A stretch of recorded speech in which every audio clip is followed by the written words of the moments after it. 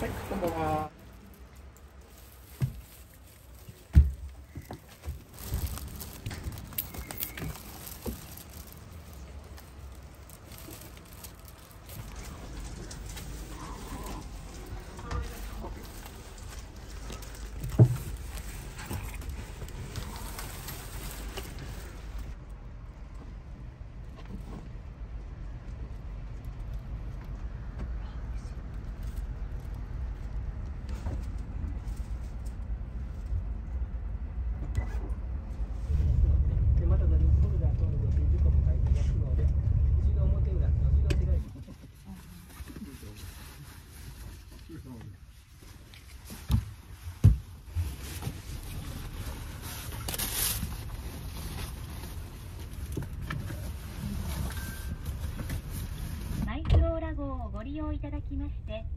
とうございます。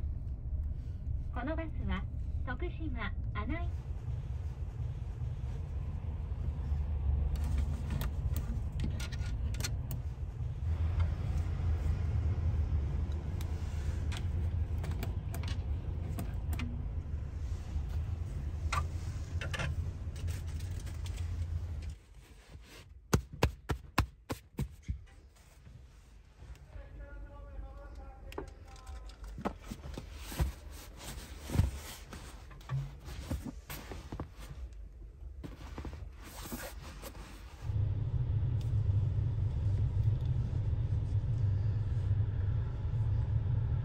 変お待たせしました。まもなくご案内いたします。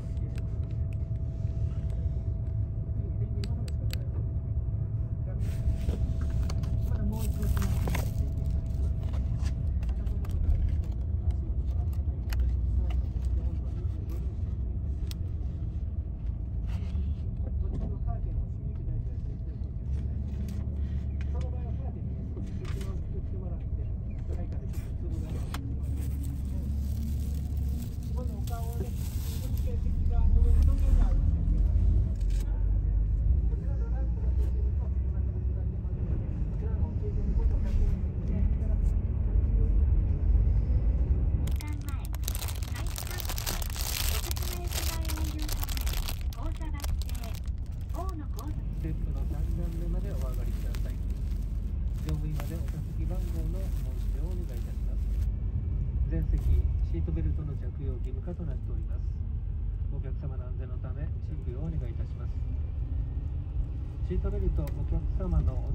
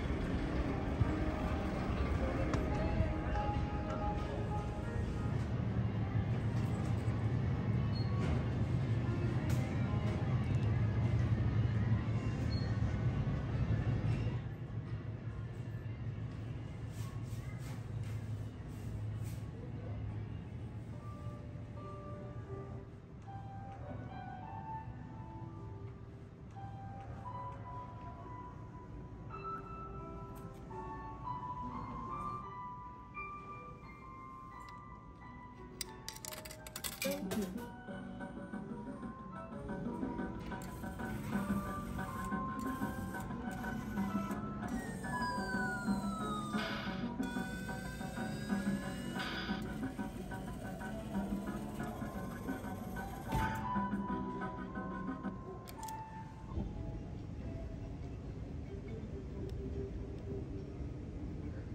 ンネル内に設置